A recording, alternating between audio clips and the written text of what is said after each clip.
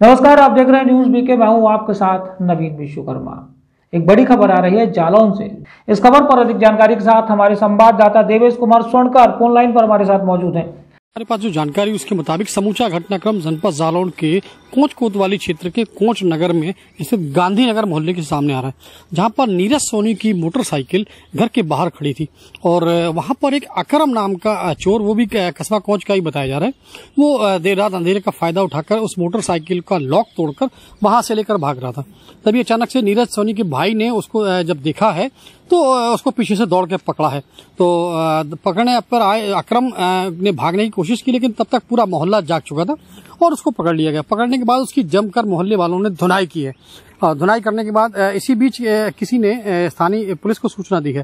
सूचना मिलने पर स्थानीय पुलिस मौके पर पहुँची है और लोगों के द्वारा पकड़े गए उस चोर को अपने कब्जे में लिया है और आगे की विधिक कार्रवाई शुरू कर दी गई है। चोर पकड़ा कैसे पकड़ा? चोर मेरे भाई ने बताया कि रामलला मंदिर के पास भैया फ़ोन आया उसका हाँ। चाचा जी के पास कि भाई गाड़ी चोरी हो गई है अपनी हाँ। और फलाना फलाना आदमी लेके जा रहा है। तो उसको उसने रोक लिया फिर हम लोग पहुँचे पकड़ के लाए उसको।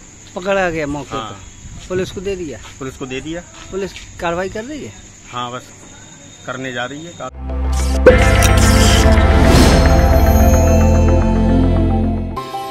संस्कार सेवा समर्पण शिक्षा के माध्यम से देश को उन्नति के मार्ग पर ले जाना है हमारा उद्देश्य।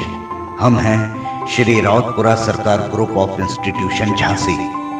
B pharma D pharma B Ed B A और आईटीआई डिप्लोमा के लिए आज ही एडमिशन लें। उन्नाव बालाजी मार्ग, भोजला मंडी के पास ग्राम Aari Jhansi. Contact seven zero six eight two eight zero six two seven seven zero six eight two eight zero six two eight